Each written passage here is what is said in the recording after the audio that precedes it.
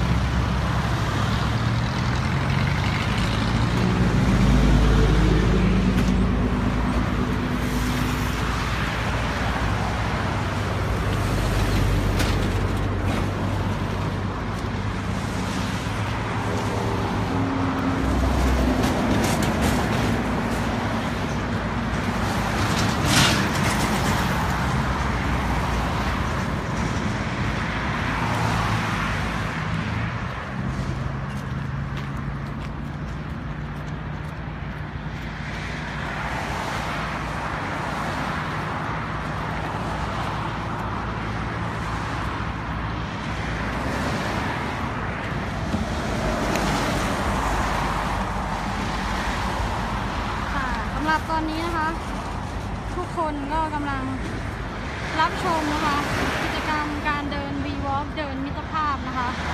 เดินไปหาเพื่อน เดินไปหาอนาคตนะคะ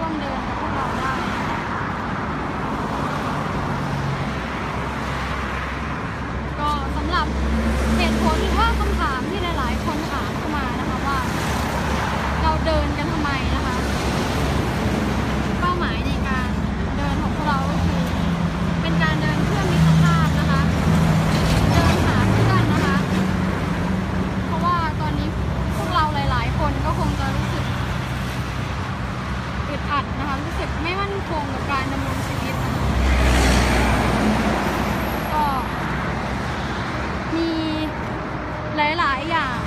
ที่กำลังเข้ามาสั่นคลอนคุณภาพการใช้ชีวิตของพวกเรา ก็สำหรับ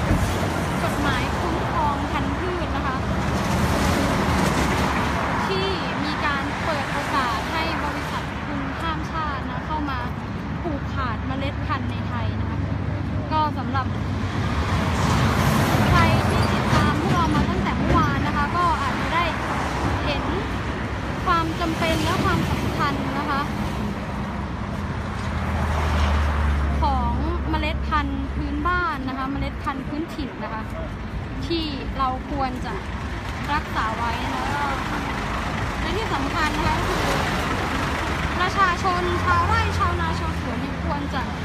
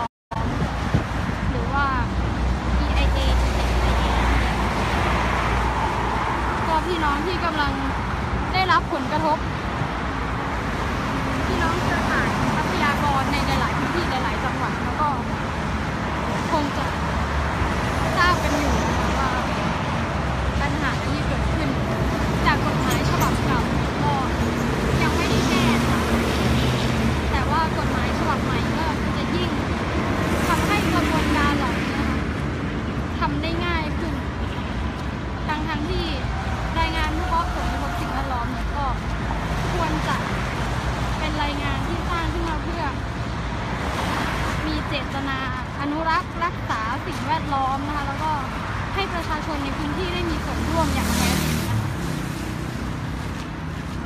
แต่จากกฎหมายเดิมก็ที่ประชาชน เข้าไปมีส่วนร่วมได้น้อยอยู่แล้วตอนนี้ก็กฎหมายฉบับใหม่ก็ ยิ่งทำให้การมีส่วนร่วมดังกล่าวน้อยลงไปอีก ซึ่งในบางกรณีก็แทบจะตัดการมีส่วนร่วมของประชาชนออกไปเลยนะคะซึ่งการทำ เช่นนี้นะคะก็จะมีผลกระทบแน่นอนค่ะต่อมลภาวะสิ่งแวดล้อมนะคะ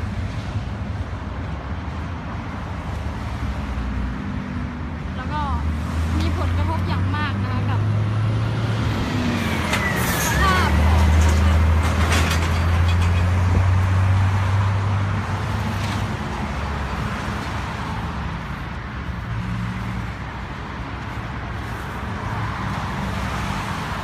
ๆนะคะ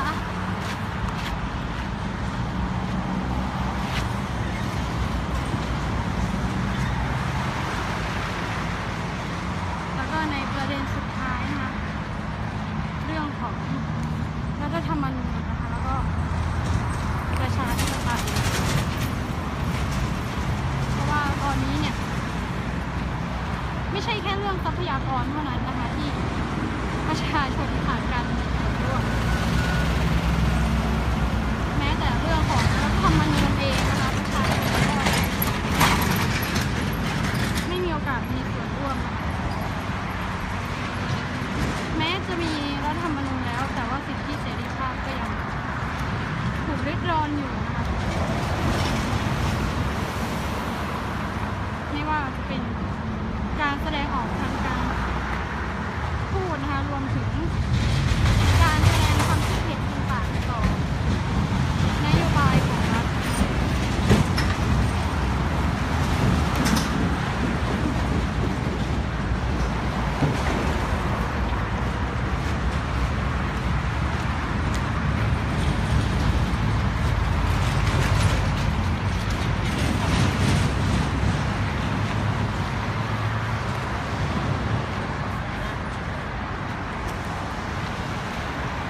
ก็นี่เป็นสี่เหตุผลหลักนะคะที่ทำให้พวกเรานะคะชาววีวอล์เดินมิตรภาพนะคะเลือกที่จะออกเดินทางตามเส้นทางสายมิตรภาพนะคะ เพื่อบอกเล่าเรื่องราว เหล่านี้ให้เพื่อนพ้องพี่น้องนะคะ ที่กำลังเกิดขึ้นมาใหม่ในทุกๆก้าวนะคะ ได้ร่วมรับฟังและเห็นปัญหาร่วมกัน